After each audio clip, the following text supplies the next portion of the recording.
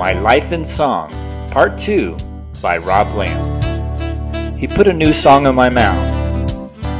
I feel like I'm starting a whole new life, one of faith, adventure, and a continuation of my musical journey. Attending The Ohio State University, I came across a verse in the Bible written by a songwriter named David. In Psalm 40, he shares his joy in song when he penned the words, He put a new song in my mouth, a song of praise to our God. Many will see and trust in the Lord. My reaction was, wow, that's what I want for my life. What would that look like? Where do I start? And he put a new song in my mouth. I adopted this lyric as my life verse, asking myself, how can I channel my newfound joy of the Lord into music that could also reach others? While attending a campus Bible study, I met a few musicians, namely Mike Meese, Jim Snedeker, and Jack Kramer. We formed an outreach band called Daystar in 1976. In addition to playing live shows all over the campus of Ohio State and other colleges, we wrote and recorded a number of scripture songs that were popular among our network of campus churches and served as a great medium to easily memorize verses from the Bible. In between classes and church activities, I worked part time at Ohio State's Media Services in Lord Hall. That sounds like a nice place to work. I was cleaning movie projectors and delivering film projectors to classrooms and lecture halls. It was there that I met Steve Puffenberger, a talented film and media expert who had created a multimedia presentation called I Love to Tell the Story. Inspired by the spellbinding, amazing media, I invested in two Kodak slide projectors and a dissolve unit to create my own multimedia presentation called Vision. Vision was completely with a live band. We would set up Vision in the dormitory lobbies, put up posters, invite students to come and experience this vision of life with God at the center. It was during my time at Ohio State that I met an attractive co ed named Susan Eady from Mason, Ohio. She was attending our OSU Bible studies with her close friends Jenny Matson and Carol Foster. When I first laid eyes on Susan from afar, it was on the 15th floor of Lincoln Tower. I was smitten. The door slid open, her eyes first met. I felt my future beating in my chest. We found a love Over the course of three years, I kept a healthy distance from Susan. We would see each other at church activities, often together in large groups, but we never dated. Then, in August of 79, out of nowhere, I asked Susan if she would consider marrying me. Remarkably, she said yes, then quickly came to her senses and said, Let's not move too fast here. I really need some time to think about this. So I waited a whole 10 days, which seemed like eternity until she said yes again. We had a short three week engagement before we were married at the King Street Methodist Church on the south side of campus. Our low budget wedding reception was held at one of the student union facilities. We even shared tuxedos, bridesmaid dresses, and flowers with my Daystar friend Jim Snedeker and his new wife Jeannie, who were married the day before us.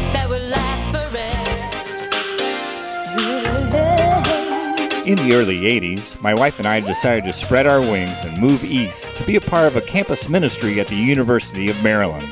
It was there I put together a new outreach band. Okay, we're gonna run from the top and have you lay the rhythm all the way through. We're rolling. When visiting Michigan State University in East Lansing, I was introduced to a student named Lance Zechinato.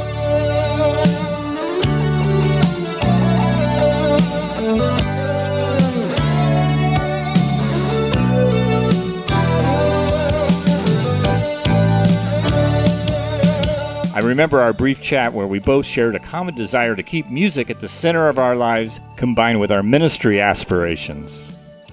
Lance handed me a demo tape and mentioned he played guitar. When I popped the tape in my cassette player at home, I was blown away by this wall of sound. Also in Michigan, I met a woman named Iris Proctor, a talented singer who was a vocal major at the University of Michigan. Now, as a Buckeye, I don't usually associate with Wolverines, but I guess the Lord works in mysterious ways. I shared my vision with Lance and Iris to pull together a touring band that would play positive secular music and provide a platform for me and others to share our faith story. The original name for the band was appropriately Crossover, which included some of my former bandmates from Columbus, Dave Clutch on keys, Ed Fedor on bass guitar. Also, Tony Moe from Maryland played sax and ran sound, while Dave Murray from Kansas produced our lighting. After many of the new band members had relocated to Maryland to rehearse for our tour, I received a startling diagnosis of testicular cancer. My surgery was quickly scheduled for May 1st, 1986, followed up by weeks of radiation therapy. I was very sick. Our first Southern tour was scheduled for the fall. Even though I was weak from my treatments and lost a bunch of weight, we loaded up our gear in a budget rental truck and headed out on the road under the name Network.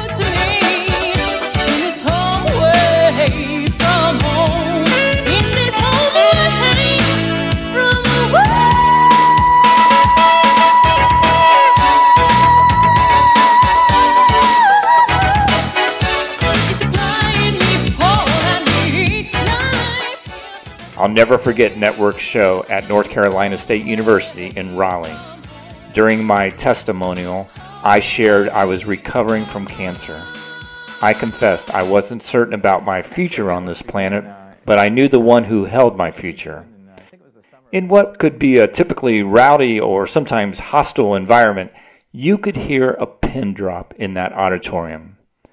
I would never say I'm glad I had cancer, but I could clearly see the dynamic effect it was having on others as they listened intently to my every word. In addition to playing colleges in the U.S., Network also toured in Germany in the summer of 1988. Guitarist Dave Weber and singer Kendrick Halliburton joined us as we performed in three cities along the Rhine River, including Cologne.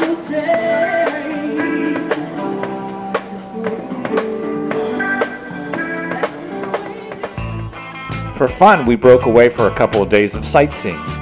We rented a VW van and took off towards Berlin. I was driving and not paying close enough attention to the international symbols on my dashboard. Apparently, I've been glancing at the battery indicator, thinking that was our fuel gauge, until it was too late and we ran out of gas on the Autobahn. We didn't know what to do, so Tony, who spoke a little German, called the local police from an emergency phone on the highway. The police asked if we had a $100, and they would be on their way. In the meantime, a very nice German man pulled over and gave us some Bleifrei, German for unleaded gas. We mentioned that we were waiting for the police to come help us. he informed us that they were not coming to help us, but to fine us, since it's against the law to run out of gas on the Autobahn. So we quickly got back on the road and got out of there without a citation. We were truly a band on the run.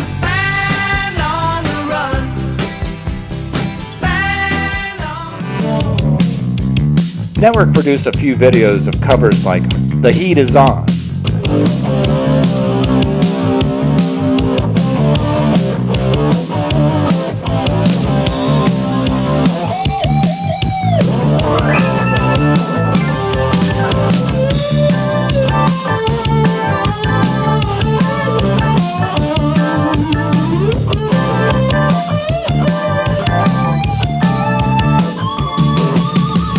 1990, Network recorded an album called Songs for the Journey, including nine scripture songs I wrote that we performed at church services and student conferences. The band also performed regularly in the DC area, like at a Say No to Drugs assembly at Paint Branch High School, and as the headline act at the annual Independence Day celebration in downtown Columbia, Maryland.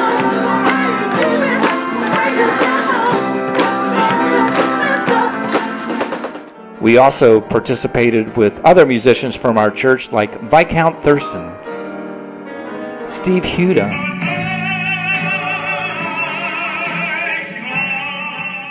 Hans Meter, Steve Namey, Jeannie Finnegan, and Dennis Clark in 10 consecutive years of the popular Valley Brook Christmas show called An Evening in December. In 1996, I was experiencing high anxiety over a potential career change. Here I was, 40 years old, now at another major crossroad.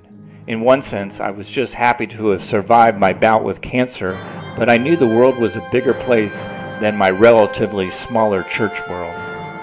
So I took a break from performing music, left Valley Brook Community Church, and against all odds, I received a job offer with the Baltimore Symphony Orchestra as their audience development manager.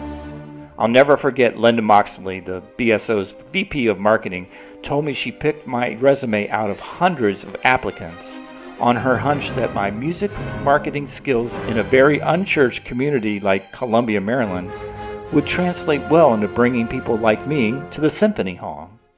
It was at the Meyerhoff Symphony Hall where I promoted and met many world renowned musicians like Yo Yo Ma, Joshua Bell, and Marvin Hamlisch. I remember having dinner with Marvin Hamlisch and asking him what he thought the key to his worldwide success was. His answer was simple Be ready when the door of opportunity opens. It may only happen once. I'd have to say those three transformative years with the Baltimore Symphony provided me a much needed confidence boost, showing me I could be successful in marketing music and earn a small living to help provide for my young family. My vocational success with the BSO opened up a new door of opportunity with Universal Studios in Orlando, Florida. In July of 1998, our young family resettled in Orlando for what would be a 20 year focus on my marketing career with Universal Studios, Marriott Vacation Club, Gold Key Resorts in Virginia Beach, and Starwood.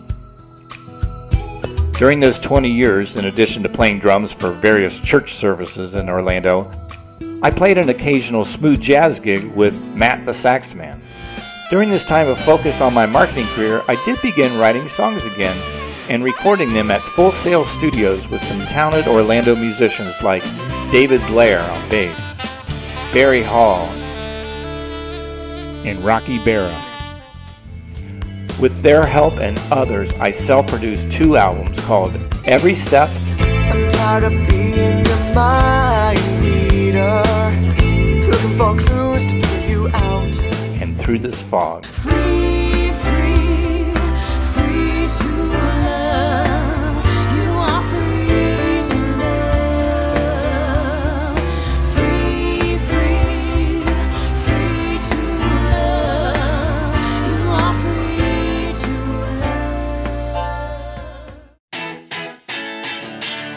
In 2012, while working at Starwood, I ran into Bryan Swart, a musician from the Discovery Church where I played drums, who just happened to work in our finance department. He mentioned there was a company talent show coming up, and he knew of a couple musicians, John Budnick, who played bass, and vocalist Thom Becker from his department, that might be interested in putting together a band to audition for the show. Well, we gathered at my home in the Metro West area of Orlando and made an audition video performing What I Like About You.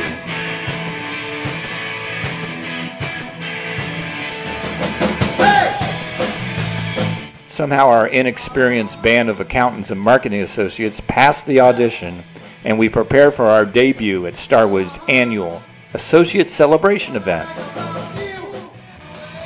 We performed just one song at Disney's Dolphin Resort on a big stage in front of thousands of our coworkers. We needed a name for a band, so we came up with Power Surge, since Serge Rivera was our CEO at the time. I don't think anyone in the band was prepared for the enthusiastic reaction from our work comrades. And we began playing at local venues like Bar Louie. Our first Bar Louie gig was an after party following up our second Starwood celebration event. The venue was packed with our fans wearing their Starwood t shirts, dancing, and having a good time with their homegrown band. The bar owner came up to me and said, You may not be the greatest band to ever play here, but you sure bring a lot of people. In addition to performing live around town at venues like Bar Louie, Cricketers Pub, and Bloodhound Brew, Power Surge evolved into Power Grid with a new guitarist named Ramses Cairo. With Ramses, we booked time at the Full Sail Studios to record our first album of all original classic rock style music, including Myra.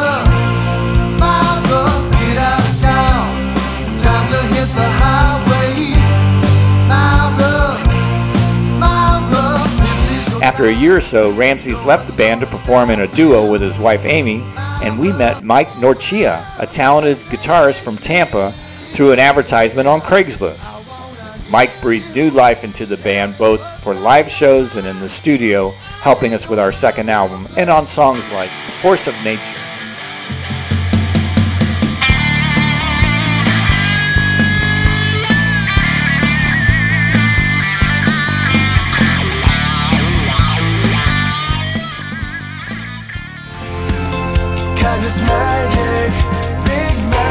It was during one of our recording sessions at Full Sail that we met a student named Alan Reitman.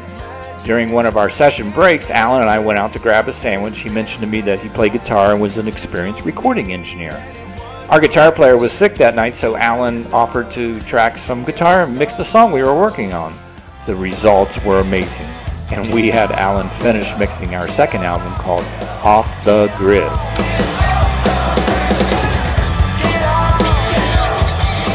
2014, I had a piano bench full of original indie pop style songs and asked Alan if he would be interested in producing an album for me.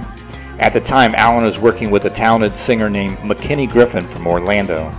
When Alan shared with me their collaboration of A Rock in a Hard Place, I asked, How do we get that guy to sing our songs? If you want the answer, deep down inside you, there is eternity. Three of us met at Alan's place on the east side of Orlando to discuss the project. McKinney said, Why don't we call ourselves Yesterday's Future? One of the songs from our debut album was called Rocket Girl. It was inspired by the book Malala, about a young education advocate from Pakistan.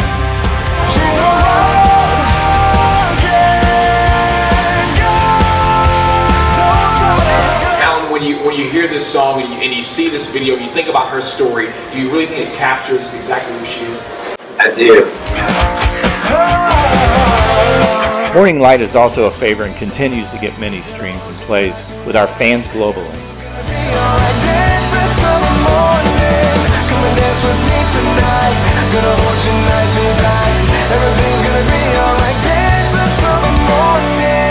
After our first album was released in 2015, we were invited to perform live at a couple of Orlando venues. After a year or so of playing live together, McKinney decided to pursue his career ambitions in LA, while Alan headed back to his home in Michigan. With McKinney and Alan no longer available to play live shows, I started to perform with other talented musicians like bass player TJ Malillan, singer and keyboardist Tori Wold, and her multi instrument dad, Tony Wold.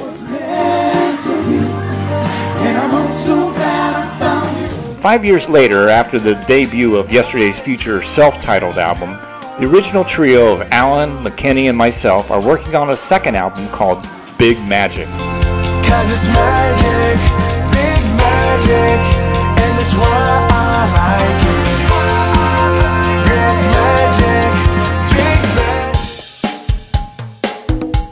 Thanks to online musician websites, I was able to collaborate with many gifted musicians like Auni Saxton, Why are you so hard on yourself? God knows you're not perfect. Clay Collins, Things have turned out better than I thought. I admit that I have my doubts. and Nathan Nasby.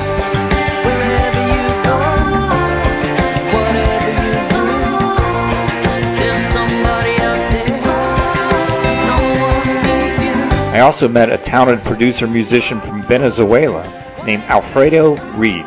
From our online sessions came two albums Echoes of Faith, released in 2018,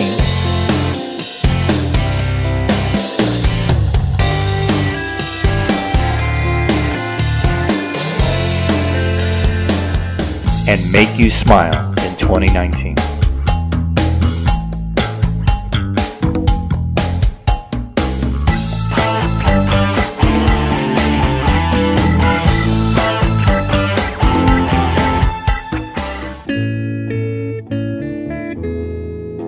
Now it's been over 50 years from my original musical spark that ignited while watching The Beatles on Ed Sullivan. I can relate to Sir Paul's question Will you still need me? Will you still feed me when I'm 64? I certainly enjoyed all the memories of playing in bands with so many talented and good people over the decades. When I listen to my songs today, all I can think about is the people and the places those songs trigger in my aging memory. I know I'm not the greatest musician in the world, but as long as I can still make music and share music with my friends and family, I'm all in. And at the end of this life, I have one remaining question.